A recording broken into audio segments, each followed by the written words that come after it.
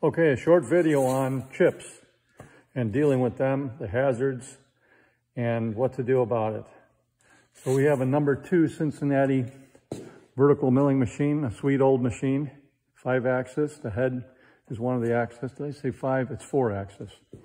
Um, and we've got a Karuta, I think that's made in Japan, boring head. It's kind of a copy of the Nerex somewhat and we got kind of an extension that we made, rigid extension. Uh, so we're taking about an eighth of an inch per side, so a quarter inch off the diameter to uh, bring it close, and then we'll finish boring it for a fit on some pin bosses that are going to be welded in there. So with just a regular brazed on cutter with no chip breaker, we have a bird's nest of heavy chips that they're not brittle. They don't break easily. They have to be pulled out and cut, and they resist that.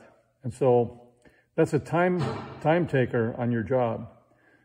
You know, you have to consider the chips as being something that uh, is part of uh, efficiency if you can have them removed and not have to uh, do the kind of thing like we have before us where you have to get in here with a pair of big cutters, grab a hold of the chips, pull them out of the way. As you can see, they don't want to easily come loose.